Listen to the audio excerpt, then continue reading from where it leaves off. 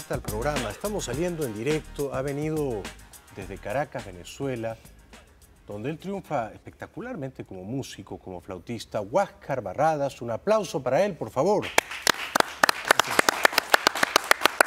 Bienvenido. Hace cinco años que no nos vemos, ¿no? Tanto como cinco. Como cinco o algo así. ¿Cómo estás? Bien, te traje varios regalos. La primera nominación del Grammy en el 2011. La Felicidades. segunda nominación al Grammy en el 2013. Y mi último disco. Y bueno, eh, ¡Wow! ¡Cuántos regalos! Esto es contento de de fiesta, acá. esto parece Navidad. Te nominaron el 2011 sí, a Latin Grammy el Latin Grammy, sí. y el 13 2013 en el Latin Grammy en otra versión. Y este es el disco nuevo que acabas apenas de salir. Caribe. Correctamente. Huáscar te lleva al Caribe. ¿Por qué lo has querido escribir Caribe con K, Huáscar? Creo que, que cosas de, de maracucho, de Zuliano. Claro. Los maracuchos somos, somos de una parte de- Traviesos. traviesos, un poco inquietos. Y esa es la característica principal del, del maracucho. Sí. Un poco sentido del humor, eh, una manera particular de vivir, porque históricamente, acuérdate que, que el Zulia, eh, Maracaibo estaba separada por un lago. Hace el puente sobre el lago de Maracaibo apenas fue en el 64 cuando lo, se hizo. Antes de eso la gente se comunicaba con ferries y, y era como una aventura ir a Caracas para los zulianos. ¿Tú naciste ahí? Sí, yo nací en Maracaibo y me crié toda mi, mi infancia. Tuve una, una vida bien particular porque yo me, escri- yo me crié en un colegio judío. Yo estudié en un colegio judío. ¿Cómo así? ¿Tus padres eh, Porque mi, mi papá es periodista, publicista y a mi hermano y a mí eh, querían mis papás que tuviéramos un- una, una buena educación y ese colegio era importante y, Pero no profesaban la religión. no, sin embargo, sin embargo, tú sabes que, digamos, yo me, yo me crié en una minoría. Por eso todos mis amigos de mi infancia y hoy en día tengo muchos amigos judíos cercanos que... Eso es muy bueno, ¿no? Eso es muy bueno. Claro, lo que pasa es que cuando tú lo ves como niños, nosotros no nos criamos con la diferencia tanto de la religión. Yo aprendía un poquito a hablar hebreo y, Sí. y a los Shabbat todos los sábados porque en el colegio lo Sí, había. sí, sí. Entonces para mí es, es ¿Y normal. te hicieron bar mitzvah? No. Bueno, yo, eh, no, yo, mis, mis- mis compañeros, muchos Sí. asistí. Entonces, entonces tuve ¿Tú esa... tocabas ya la flauta? Sí, ya había, ya había comenzado a tocar, porque yo comencé a, los qué edad? nueve años. A los nueve años. O sea que ya en el colegio judío de El Maracaibo Biluce se llamaba así. Tocabas la flauta. Sí, había comenzado a ¿Quién tocar. te desde muy- enseñó, Huáscar? ¿Cómo No, aprendiste? eh, eso, eso comenzó, acuérdate que mi, mi papá eh, era un hombre, digamos, de los medios. Pero En él mi- en mi tocaba casa- flauta. No, no, pero había mucha música en mi casa. Entonces, de allí viene esa, esa afición de ir siempre a conciertos, a eventos. Y entonces eh, comienzo a tocar muy temprano a los nueve años. Y después ¿Quién más- te regaló tu primera flauta? ¿O la, cómo? la primera flauta eh, la- me la dieron en el conservatorio Ah. eh, de muy niño. O sea que tu curiosidad te llevó a eso. Sí, sí, sí. Y tú aprendiste enseguida, eres un No, autodidacta. no, no, yo, yo soy un niño de, más bien de conservatorio. Yo comencé en el conservatorio muy niño y inmediatamente comienza el sistema del maestro Abreu, que comienza, y yo soy miembro fundador de la primera orquesta infantil de Venezuela, en el gobierno Oh. de Caldera, cuando el Teresa Carreño se abre, el primer concierto que se hace en la sala José Félix Rivas, fueron con 130 niños, que éramos los escogidos. Niños prodigios. Sí, niños desde, desde pequeños hasta 14, 15 años. ¿Y cuántos años estuviste en el conservatorio? de, en Venezuela desde el- hasta los 17 años. Ahí vengo a Estados Unidos. O sea, pero espera, de los 9 a los 17. Sí, y, siempre, y, y toqué muchísimas. O sea, como 8 años en el Sí, sí, conservatorio. todo. ¿Dormías ahí en el conservatorio? prácticamente, porque en esa época, a diferencia de ahora, nosotros en Venezuela, eh, por el sistema, nosotros comenzamos a tocar en orquestas desde muy Qué niños. genial. O sea, que has tenido una educación musical eh, de, de gran excelencia. ¿Y, y estaba Dudamel ahí o no? No, Gustavo comienza 20 años después. Acuérdate que él es otra generación. Ah. Gustavito, cuando yo. Es que tú te ves joven. ¿eh? Sí, sí, pero yo, yo paso. yo- Gustavito es menor que tú. sí, claro. El Gustavo. Eh, ¿Tú cuántos, comienza en el cuántos 95. años estás marcando ahora, más o menos? Ya llegando a los, voy a llegar a los 50. ¿En serio?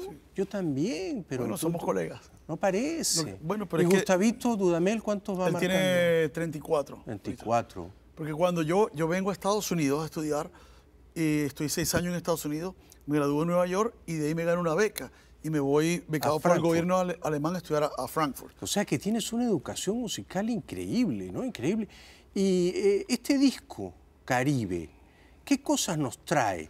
Veo que has tenido canciones con Oscar de León, con... eh, Con Lena, Lena Burke. Con Lena. Sí. con, el pollo brito, con con el maíz. Sí. Pipe Peláez, el, el, eh, colombiano también que ganó el Grammy este año. Pipe Peláez. Sí. Eh, ¿Cuál es la canción que más está sonando de este tu último disco Caribe? Sí, al, al comienzo hice una canción que se llama Love and Peace, que Love es, and un, Peace. es un reggae, y lo que hice fue, en, en esa preocupación por mi país como artista, siempre, eh, en, básicamente lo que dice la canción, ya no quiero más peleas, ¿hasta cuánto tantas guerras? Sí. Yo te invito a conversar, ¿Es a, escuchar, español? a escuchar con mente abierta, eh, para que así tu conciencia Sí. eh, sea abierta, ¿no? Y yo lo que hice fue que llamé a muchísimas personas a grabar conmigo la palabra love and peace o paz y amor. Entonces, Omar Vizquel, jugador de béisbol de Grande Liga, Oscar de León, César Miguel Rondón, lo conoces, grandes periodistas, Mimi Lazo eh, y personalidades de la música, los, los llamaba, ellos iban grabando por su teléfono Ya. y eso lo fui incorporando en, en la canción. ¿Funcionó? Sí, ¿Es- es funcionó un y, y- y de alguna manera es interesante porque eso lo, lo hicimos en octubre del año pasado. y Hace ahora- poquito, hace poquito. Sí, Ya pero está, y explotó ahora, ¿sabes? ¿Está en YouTube? Sí, ya, ya está. Está en YouTube. ¿Y cuántos, eh, cuántos espectadores registra? ¿Ya No, no, no, no sabemos, no lo he visto, no lo pero visto. lo, lo vamos a chequear. Eh, y, y- y el disco básicamente se llama Caribe por eso, porque yo he tratado de rescatar un poquito más de lo que es la, um, mi esencia, porque al final el latino, el, el caribeño tiene cosas particulares, Sí. que le gusta la salsa, que le gusta la, el reggae, que le gusta el vallenato, que le gusta todas esas cosas. Y nosotros somos, eh, ¿sabes? Como los últimos románticos. Sí, somos los, sí, sí. los, los latinos que, que, que somos como que esas personas que todavía vemos esas novelas y nos involucramos y, y esa fantasía del despecho, del dolor y todo eso está un poquito en el disco de, de alguna manera u otra. Magnífico. Caribe está ya a la venta en iTunes digitalmente. Huáscar Barradas. Eh, en este disco está también la canción de homenaje a Simón Díaz. No, está en, está en el DVD, en el En DVD. el DVD. el DVD, sí. La habíamos, eh, sí la tenemos. Pa- No sé si podemos eh, ex- exhibir, propalar un fragmento musical, porque es un momento muy bonito, ¿no? Sí, sí, sí. Es un tributo que haces tú al maestro Simón Díaz, que en paz descanse. A ver, adelante.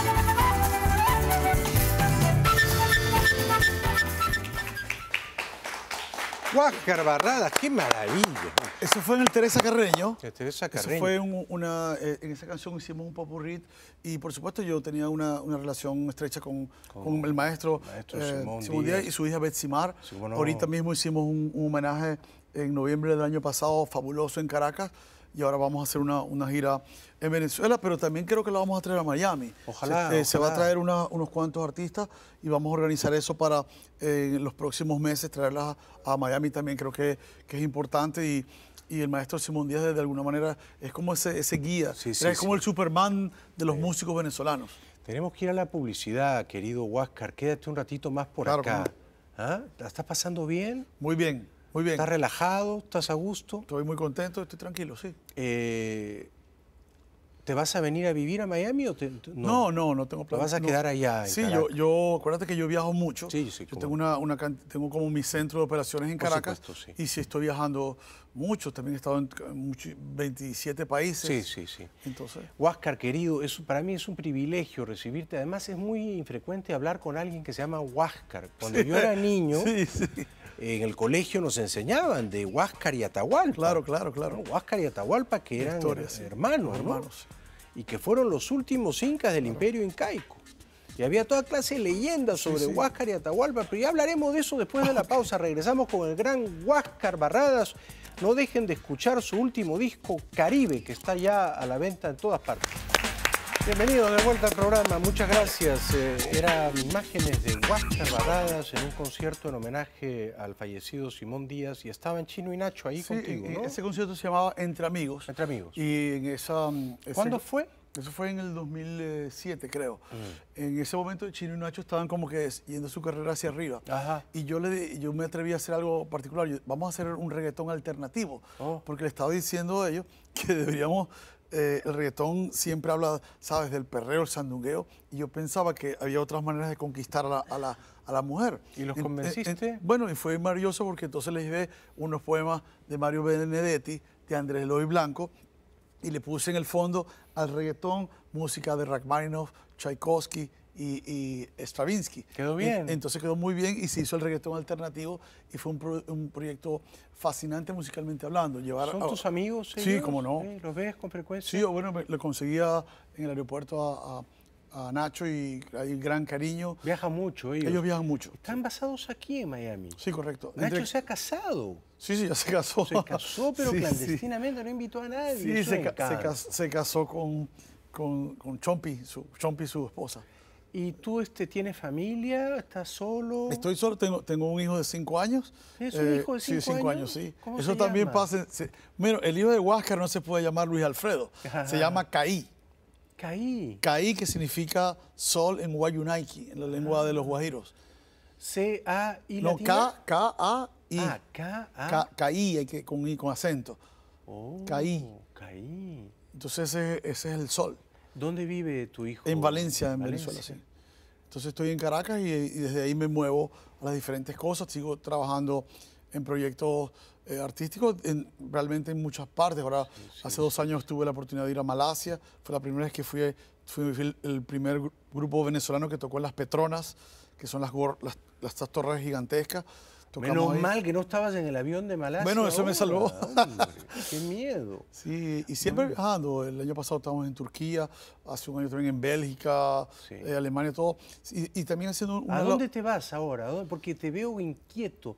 No, ¿De acá a dónde te vas? No, ahorita estamos preparando, eh, eh, ahorita en Venezuela, primero que todos los, los conciertos de... Pero de del- aquí de Miami, ¿a dónde vas? No, no, ahorita me, me voy, me voy a Venezuela. Voy a Te estar vuelves aquí. a Caracas. Sí, voy a- estamos concentrados en los proyectos del los conciertos del maestro Simón Díaz, que es, que es algo que, que, que ha sido fascinante para mí, porque después de muchos años como que lo redescubrí, porque estaba produciendo para muchos cantantes, y entonces me he puesto a estudiar su música, y ahora, sabes, como que finalmente comprendí la historia, eh, ahora oigo Caballo Viejo de otra manera, oigo Mercedes de otra manera, y todas esa- esas canciones, como si tú agarras la, la música de Chabuca ahorita, después de muchos años, y la oyes, y tú desde afuera la, la comienzas a descubrir y decir, ah, esto es lo que quiso decir. Sí, qué interesante. fascinante.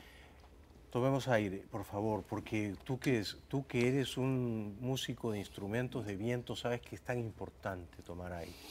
Esa flauta, ¿desde cuándo te acompaña? Sí, esta flauta la, la tengo desde 1986, una flauta de colección Van a hecha... ser 30 Sí. años. Exactamente.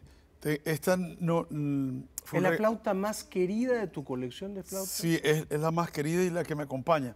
Esto es como una especie de, de dama que está conmigo porque la hicieron en 1940 y fue un regalo personal de mi, de mi profesor cuando yo era un estudiante joven ¿Dónde la venezolano hicieron? en New York. Esta la hicieron en Boston, pero él la- me la entregó a mis manos en Nueva York.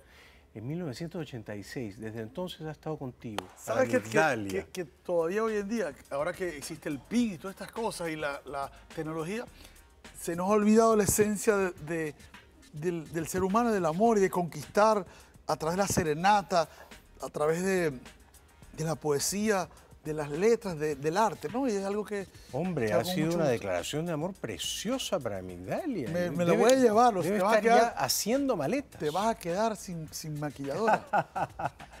Muchas gracias por venir, Huáscar. Sí, ha ¿La has placer. pasado bien? Muy bien, y bueno, última pregunta. Es increíble tantos años con ese copete tan perfecto.